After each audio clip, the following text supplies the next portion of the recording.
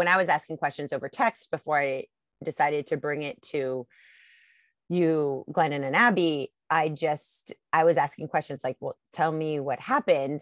And of course, the immediate reaction is, you know, maybe I'm overreacting. Yes. Maybe it's, you know, you start to question yourself. Was it, you know, I wouldn't say yelled. Maybe they didn't yell, just aggressive and no one's ever no one's ever done that to me on a tech check and I've never felt that way. And so the I immediately recognized a thousand times that I've done that. You know, mm-hmm. when I when I report how I feel and then someone takes it seriously mm. and then I start to spiral into being like, "Oh wait, you're taking this seriously? Now I need to interrogate the shit out of myself."